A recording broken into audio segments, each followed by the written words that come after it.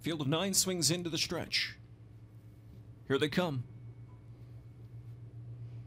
Off and trotting and a great start for Logan's Hero as he's out fast from the inside. Motorin is showing some hustle. Smoke and Dabber fires out between the pair of them now, and Always Dreaming took back into fourth. So they hustle under the line. Motorin with a short lead, but he is willing to let Logan's Hero by. Logan's Hero rushing up on the outside now as he guns his way to the front.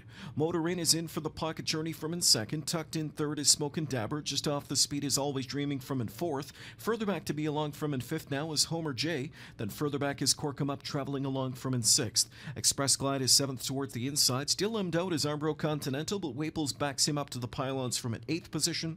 Early trailer ninth is Manhattan, who looks at uh, eight in front of him through a quarter in 28 and one fifth. So Logan's Hero fronts the field across the backstretch. Logan's Hero up front, the lead just over a length.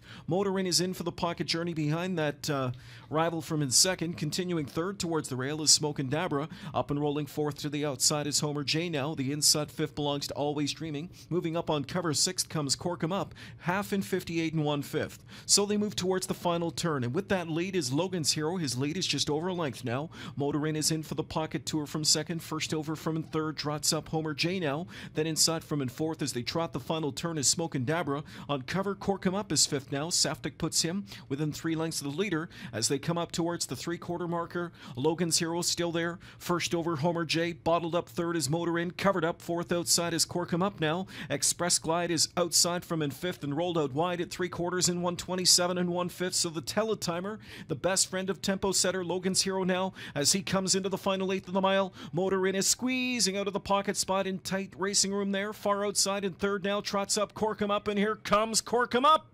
Corkum Up on the outside is sweeping by to win. Corkum Up in the final strides to score by a neck. Finishing second was tempo setter Logan's Hero. A closing third was Express Glide, Motorin fourth in 156.